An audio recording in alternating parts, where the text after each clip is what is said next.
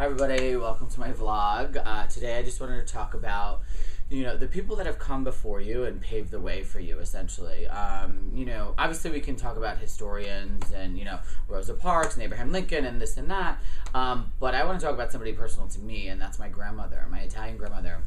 And she passed away 12 years ago um, 11, almost 12 years ago. And um, she really, you know, I, I grew up with her essentially because my grandfather had passed away when I was younger and about junior high going into high school. And so she moved in with us. And she definitely paved the way and, and explained a lot of things to me. Um, you know, there was one point she crushed a bee and I, I got so freaked out. I was like, I can't believe that you just crushed that in your hand. And she looked at me and said, These hands have been through so much she said they're calloused, they're burned. I didn't even feel it.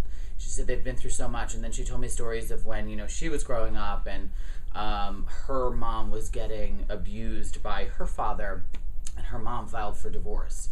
We're talking in the 1940s, and her mom filed for divorce because she said my five daughters are not going to see this going to raise this them this way and I'm going to pave the way for them to make better decisions and she did and and just in stories like that it made it inspired me to you know remember things that she had been through remember things that my great grandmother had been through even though I didn't know her that well but the stories that my grandmother had told me had resonated with me. Um, remember the people that have come before you either in your family or um, you know or historians you know they've paved a way for you to do what you want and for you to have the freedom to make your own choices.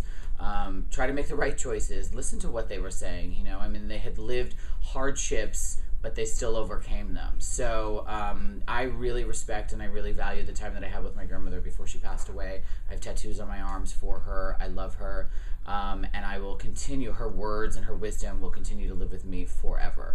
Um, so if you like what I had to say, hit the like button, subscribe. Uh, follow me on Twitter at Joe underscore Lorenzo. If you comment here, I absolutely will comment back.